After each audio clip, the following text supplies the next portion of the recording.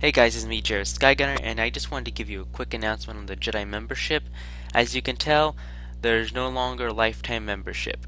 There's only the 1 month membership, 3 month membership, and the 6 month membership. I know this is going to be a big disappointment for you non-members who want or who were saving up for lifetime membership, saving your station cash cards for triple station cash. Well, now that you see this video, you can use your station cash cards now you don't there's not going to be any lifetime membership. People on the forums are thinking that this is some type of glitch that Sony's going to fix this, but I don't think it's some type of glitch or some or Sony's that Sony's going to fix it. I say this is done intentionally. I say Sony wants more money.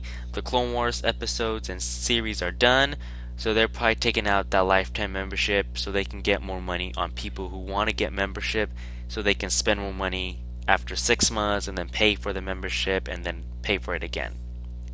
So, yeah, guys, that is pretty much all. I'll see you all later. Bye.